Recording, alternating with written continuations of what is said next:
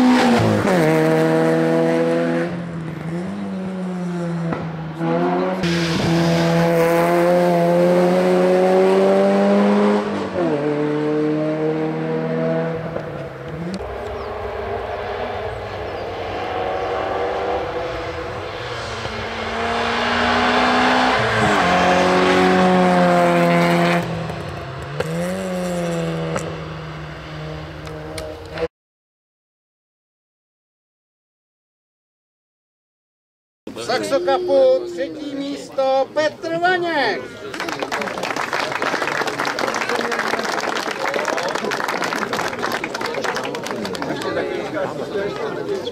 No, takže druhé místo Jiří Kaščák.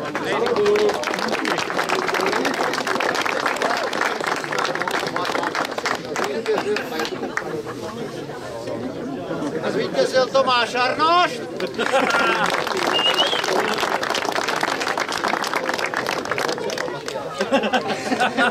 Děkuju. Tak, ještě nikam nechoďte, ještě se vám zařadí nejrychlejší vidět. Pro